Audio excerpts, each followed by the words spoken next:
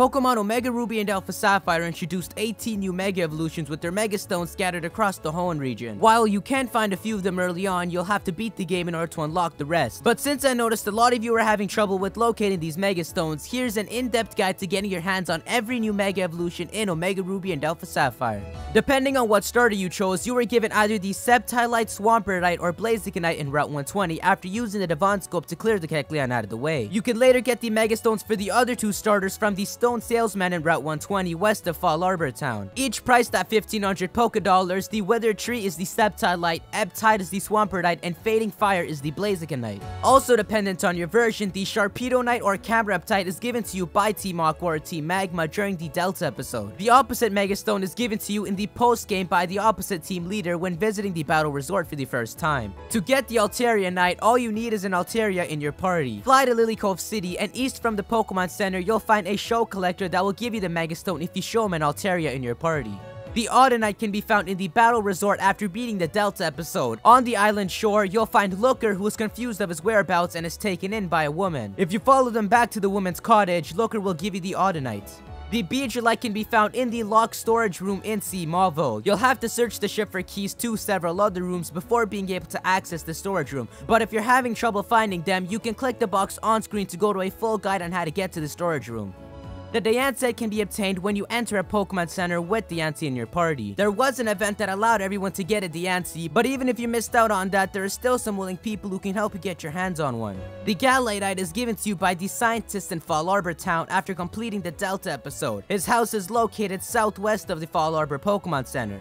The Glalitite can be found in Shoal Cave north of Mossdeep City. To get the Megastone, you'll need a Mach Bike in your bag as well as the tide to be low in Shoal Cave. Push the home button and if the time falls between between the low tide times on screen, the tide will be low. Follow my lead through the cave, into the basement, and around the ice puzzle, and you'll find it on the floor. The Latiosite or Latiasite can be obtained during the storyline after defeating Flannery in Lavaridge Town. Steven will take you to the southern island where you can befriend either Latias or Latios and obtain its Megastone. The opposite Megastone can be obtained from your mother in Little Littleroot Town after completing the Delta episode. The Lopunnite can be found in the second floor of Mauville City, which you can get to by taking the elevator. If you don't have access to the second floor, talk to Wattson in the center of the city and you'll be able to access it. On the second floor, you'll find a man in black on the right side trying to deal with the tenant avoiding his rent payment, and if you talk to him, exit the area and come back, he'll be standing outside again and will give you the Lopunnite. The Metagrossite can be obtained after the Delta episode when you defeat Steven in the Elite Four rematch. Until January 14 of 2015, you can also receive a shiny Beldum holding the Metagrossite via mystery gift. To get the Pidgeotite, you'll need to help the little girl in Verdanturf Town by helping her find her Shroomish. If you interact with the town sign, Shroomish will pop out and the girl will give you the intriguing stone as a reward. If you show the stone to Mr. Stone in Rustboro City's Devon Corporation, he'll exclaim how that stone is actually the Pidgeotite. The Sablenite can be found in Sootopolis City by taking the East Bridge in front of the Cave of Origin. The Salamence is given to you by Zinnia's grandmother in Meteor Falls, southwest of Fallarbor Town after beating the Delta episode.